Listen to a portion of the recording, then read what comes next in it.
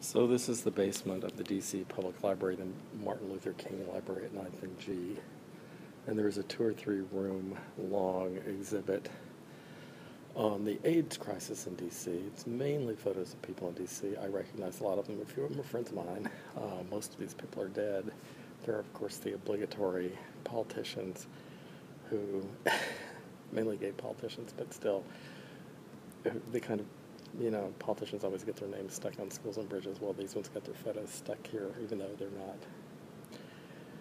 Think some of them may or may not have been involved in helping the AIDS cri- with the AIDS crisis. They're definitely not AIDS sufferers or whatever.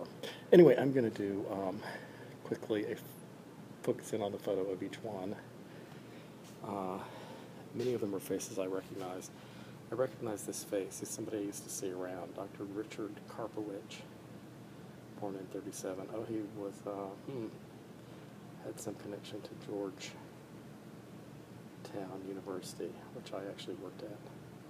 Anyway, I don't, uh, I didn't know him, but I recognize that face. Charles Hicks, I recognize the name, but not the face. Joseph's house. So this is really about a hospice care house. I actually recognize that person's face. Nestor Hernandez, I think I recognize the name, but not the face. Billy Jones, I do recognize the name, but again, not the face. Essex Hemphill, uh, I recognize both the name and the face, although I didn't know him. Janice Giroux, did not know her. I might recognize that face.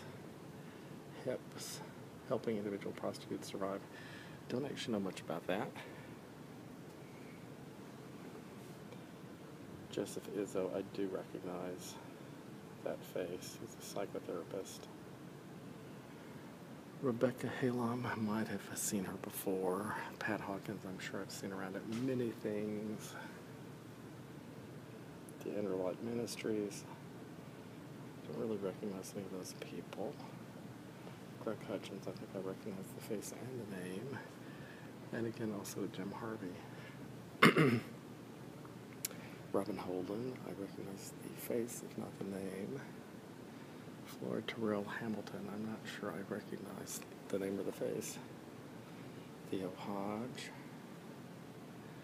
James Michael Lane Hall. Ernest Glenn Hall Biggie. I might recognize that face. Derek Hicks, I think I recognize the name. Anyway, I'm doing this in part for people who don't live in DC anymore who might be curious if a loved one or friend is here